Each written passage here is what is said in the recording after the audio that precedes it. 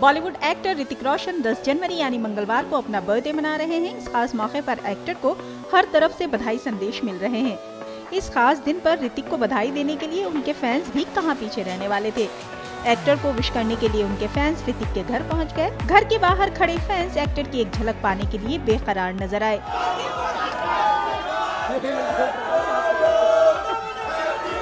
ऋतिक ने भी अपने फैंस को निराश नहीं किया। अपनी बालकनी से आकर फैंस को हाथ हिलाकर शुक्रिया कहा। एक्टर ने फैंस के साथ सेल्फी भी ली। अपने पसंदीदा कलाकार की एक झलक पाकर फैंस भी काफ़ी खुश नज़र आए और दूर से ही ऋतिक की तस्वीर लेते दिखे।